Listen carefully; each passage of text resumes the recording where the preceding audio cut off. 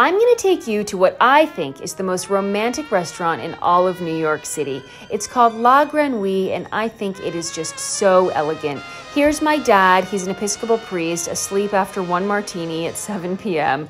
The food is delicious, the florals are beyond, and they're actually arranged by the owner, Philippe, seen here serenading us with a little tableside Johnny Cash, which was such a special treat.